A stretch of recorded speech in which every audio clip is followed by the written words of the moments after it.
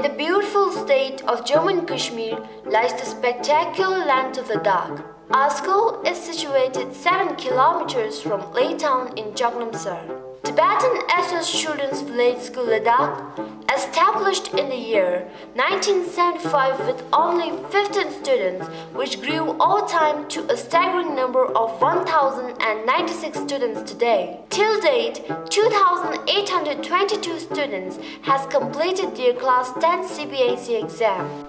Our school accommodates orphans, semi-orphans, destitute, and children from the far remote border areas of Ladakh. Four decades passed since its inception. Today, we have the facilities of 26 homes and 6 hostels, 3 hostels for senior boys and 3 for girls. For younger children, we have homes which accommodate 17 to 20 children with a trained home mother. The Tibetan SOS Children's Village School Ladakh affiliated to CBSE in the year 1986. Our school has three sections.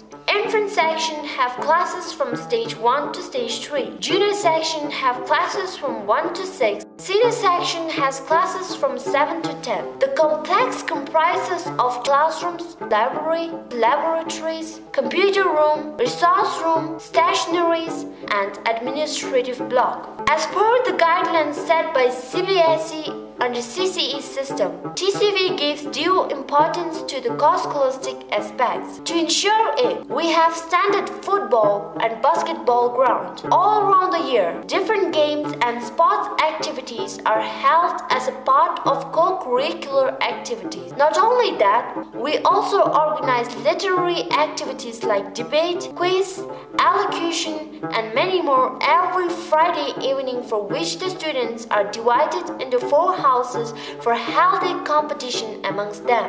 On the 12th of September, the founding day of our school, we have inter-house athletic meet among the four houses. From the humble start till the day, our school is in the service of mankind in general and Ladakh in particular. In the journey of 40 years, we have able to contribute little service in producing teachers, scientists, doctors, engineers, nurses, ITs, and so on. And we have miles to go before we sleep, and we are on the way.